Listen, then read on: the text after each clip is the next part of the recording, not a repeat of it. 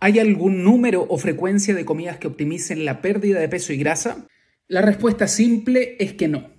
La adherencia acá es la clave y el número de comidas debiese establecerse según los gustos y preferencias de cada sujeto.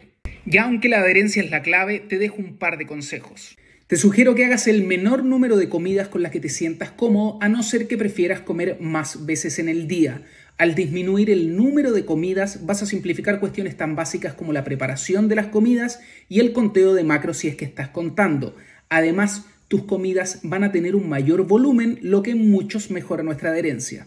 Lo segundo es evitar los extremos. Si bien es absolutamente posible hacer una comida en el día, puede ser bastante incómodo desde el punto de vista gastrointestinal y puede comprometer alcanzar tu objetivo de proteína y un adecuado consumo de micronutrientes. Por otro lado, comer muchas veces en el día no va a presentar un beneficio para perder peso y grasa y no va a acelerar tu metabolismo. Y si te preocupa que un menor número de comidas y distribución de proteína en el día pueda afectar de manera negativa la retención de masa muscular en un déficit, hoy día contamos con evidencia que nos indica que el es mucho más flexible con la distribución de proteína cuando queremos retener masa muscular en un déficit que cuando queremos ganar masa muscular, por ejemplo, en un superávit.